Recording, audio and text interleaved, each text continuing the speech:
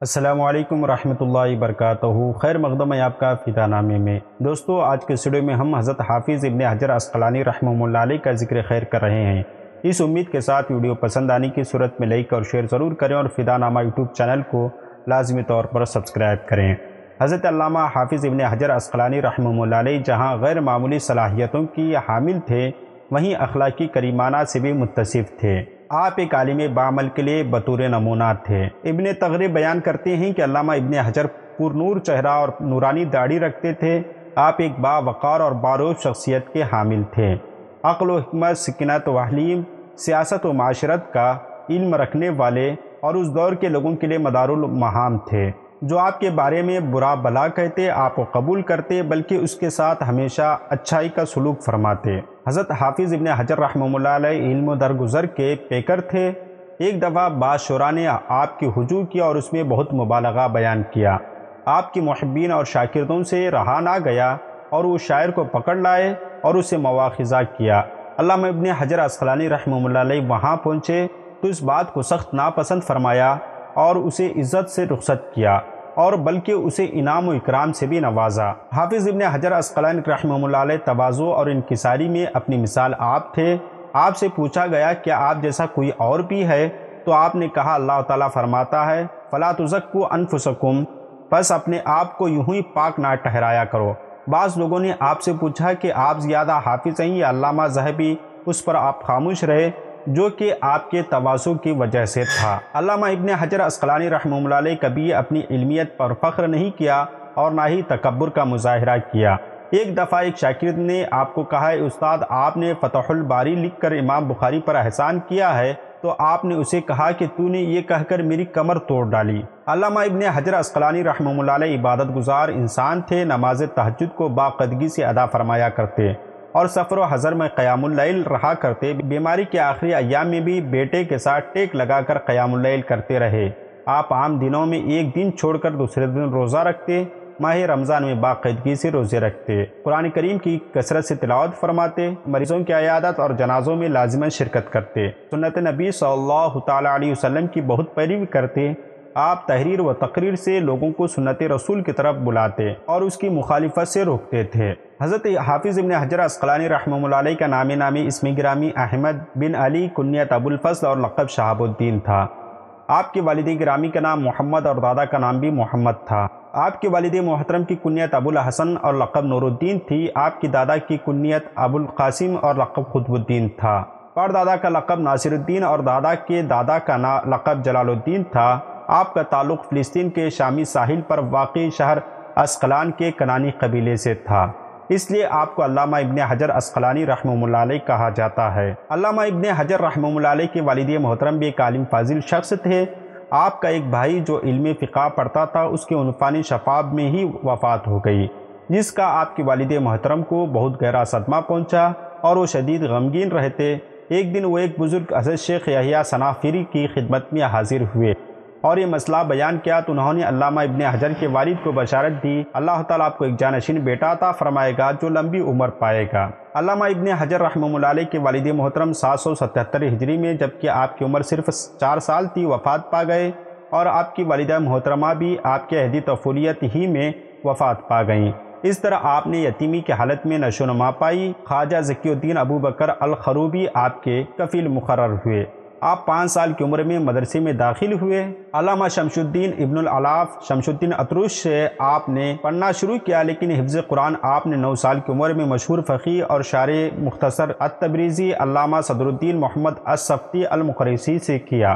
अलामा इबन हजर जब बारह साल के थे तो अपने सरपरस्त ख्वाजा जकीुद्दीन अबू बकर अल खरूबी के साथ मक्का मुकरमा जाकर हज किया और वहाँ शेख हफीफ़ुद्दीन अब्दुल्ला बिन मोहम्मद बिन मोहम्मद से सही बुखारी पढ़ा। और उस पर अबूर हासिल किया।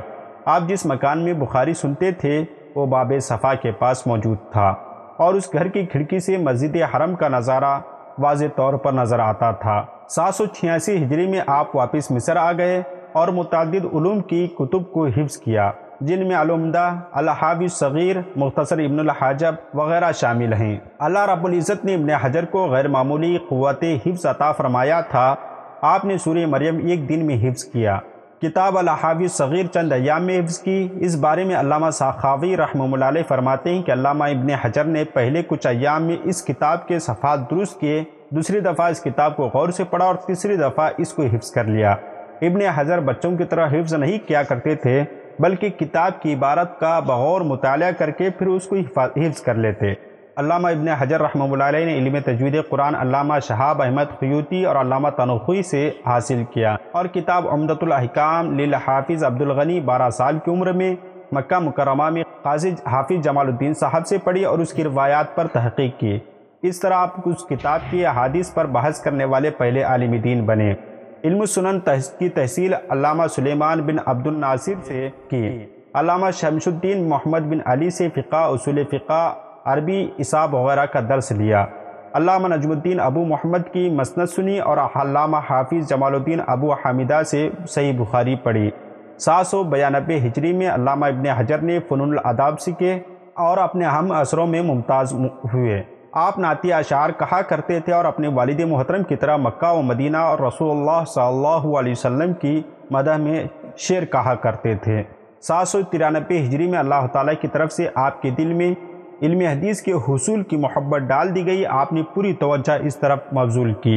इस ज़माने के मशहूर आलमदीन अल्लामा जनुद्दीन अली इराक़ी से दस साल जानव तलमुस तह किया और उनसे अल्फ़िया और उसकी शरह पढ़ी और उस पर तहकीक की। और इस तरह अल्लामा इबन हजर असकलानी मुहदस बने और उन्होंने ही अल्लामा इबन हजर को उलूम हदीस की तदरीस की इजाज़त भी दी। आपकी काबिलियत की बिना पर अल्लामा जैनुद्दीन इराक़ी ने आपको अपना जानशीन मुकर फरमाया और चुनाचा अलामा सयूती रहमल्ला लिखते हैं कि जब अलामा जनुद्दीन की वफ़ात का वक्त करीब आया तो उनसे पूछा गया कि आपके बाद कौन जानशीन होगा? तो उन्होंने कहा, इबन हजर, उसके बाद मेरा बेटा, अबू ज़रा और उसके बाद हसीमी। इल्म फ़िका अलामा इबन हजर ने इबन क़त्तान और अलामा बुरहानुद्दीन इब्राहिम अबनासी से सीखा। और इस तरह अलामा सिराजुद्दीन अबू हफ़स बल्किनी से भी एक मुद्दत तक फ़िकी हासिल किए और रोज़ा उनसे पढ़ी। इल्मुलअरबिया इमाम नूरुद्दीन अली बिन अहमद अल अदमी से पढ़ी और अलामा इब्न हजर के फ़िका के पहले उस्ताद इब्न ख़तान और अदमी थे। फिर अबनासी और इब्न मलकन हुए। उसके बाद बल्किनी से फ़िका सीखी इल्मनो अबुलफ़रज और अबू अब्दुल्ला अलमुरसी वगैरह से पढ़ी। अल्लामा इब्न हजर असकलानी रहमल की इलमी काबिलियत की बिना पर उन्हें कराम ने हाफिज़ुल इस्लाम और फ़िल हदीस का लकब इनायत किया। आप असमार रजाल और मारिफत अल हदीस के बारे में बखूबी इल्म रखते थे। आपकी इलमी शहरत की वजह से तलबा दूर दूर दराज से आपके पास आते और आपके इल्म से फैज़याब होते। आपके शाकिर रशीद अलामा सखावी ने अपनी किताब अल जवाहिर में उन तलामिज़ा के नाम तहरीर फरमाए हैं और लिखा है कि आपके शाकिरतों की तादाद छः सौ छब्बीस से जायद है।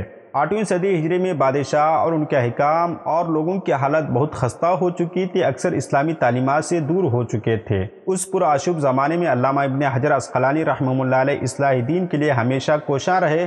तजदीद इस्लाम के लिए आप मुखालिफ इस्लाम तहरीक़ात के ख़िलाफ़ खड़े हुए। आपने अमर बिलमारूफ नहीं अनिल मुनकर की तरफ़ ख़ास तवज्जो दिलाई। आपने माशी व सियासी असलाह की भरपूर सही फरमाई। अल्लामा इबन हजर रहमल्ला ने अपनी ज़िंदगी में मुतद अहम खदमात अंजाम दिए। जिनमें से तसनीफ़ व तालीफ, दरस व तदरीस, फतावा खुतबात व ख़ज़ा वगैरह शामिल हैं। आपके कुतुब की तदाद तकरीबन डेढ़ सौ से जायद है, जिसमें से मशहूर और मरूफ कुछ किताबें यूँ हैं। तालिक़ुत्तालिक़ फ़तहुलबारी फ़वादुलहतफ़ाल फ़ी बयान अहवालरजाल अतौफ़ीक़ तहज़ीब तहज़ीब तकरीब तहज़ीब लसानमीज़ान असाबा फ़ी सहाबा वगैरह मशहूर और मरूफ हैं। अल्लामा इबन हजर असकलानी रहमल्ला जी कैदा आठ सौ बावन हिजरी में मादे की बीमारियों में मुबतला हुए। और उसके बावजूद आप मजालिस और महाफिल में शिरकत फरमाते रहे और लोगों को दीन की तरफ़ बुलाते और दीन सिखाते रहे। उसी हालत में नमाज़ जुमा अदा की, फिर ईद अजहा के लिए तैयार हुए। फिर आप अपनी हलबिया अहलिया के घर चले गए। आपके क़ुरब वक्त वफ़ात का एहसास हो गया था और उसकी ख्वाबों की बिना पर आपको उसका इशारा मिल चुका था। आपका मर्ज बढ़ता गया और हर ख़ास व आम छोटा बड़ा अमीर कबीर काजी, उलमा तलबा, वगैरह सब आपकी अयादत को दौड़े चले आए। आपकी वफ़ात हफ़्ते की शब अट्ठाईस हिज्जा आठ सौ बावन हिजरी को नमाज़ ईशा की नमाज़ के बाद हुई। हफ़्ते के रोज़ शेख सैनुद्दीन ने गसूल दिया और आपके बेटे ने तजहीज़ व तकफीन की। आपकी नमाज़ जनाजा में सुल्तान समीत, उलमा, फजला और तलबा और खलके कसीर की एक जमात ने शरीक हुई। कहा जाता है कि उस वक्त आपकी इस जनाजे की नमाज़ में पचास हज़ार से ज़ायद अफराद ने शिरकत की। अल्लामा इब्ने हजर असकलानी रहमल्ला ने तीन शादियाँ की। उनकी पहली शादी अन्नस खातून से फ़ी फिर दूसरी शादी अबू बकर की बेवा से, तीसरी शादी लैला बिनते महमूद बिन तोगान हलबिया से, आठ सौ छत्तीस हिजरी में हुई और एक उम्म वलद ख़ास तुर्क थी। आपके कुल पाँच बच्चे हुए, जिनमें चार बेटियाँ और एक बेटा। चारों बेटियाँ आपकी पहली सौजा अन्नस खातून से थी और और बेटा बीवी की कनीज़ ख़ास तुर्क से हुआ। जिनका नाम अबुल मवाली बदरुद्दीन मोहम्मद था। हमारी दुआ है कि रब करीम आपके कब्र अनवर में रहमत अनवर की बारिश नाजिल फरमाएँ। मिलते हैं अगली वीडियो में। तब तक आप अपना और अपने प्यारों का ख़ास ख्याल रखें। असलकुम